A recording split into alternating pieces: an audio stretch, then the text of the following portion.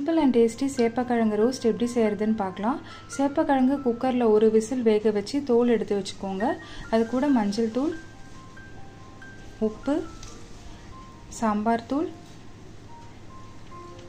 காஷ்மீரி மிளகாய் தூள் கரம் மசாலா ஆயில் இது எல்லாத்தையும் சேர்த்து நல்லா மிக்ஸ் பண்ணிடுங்க.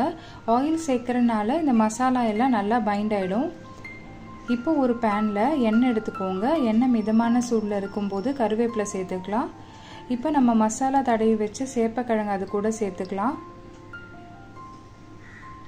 திருப்பி கொஞ்சம் மேலே கருவேப்பிலை இலை தூவிட்டு நம்ம லிட்டை க்ளோஸ் பண்ணி குக் பண்ணலாம். இப்போ பார்த்தீங்கன்னா சேப்பக்கிழங்கெல்லாம் நல்லாவே ரோஸ்ட் ஆகிருக்கு சுவையான சேப்பக்கிழங்கு ரோஸ்ட் ரெடி நீங்களும் கண்டிப்பாக ட்ரை பண்ணி பாருங்கள்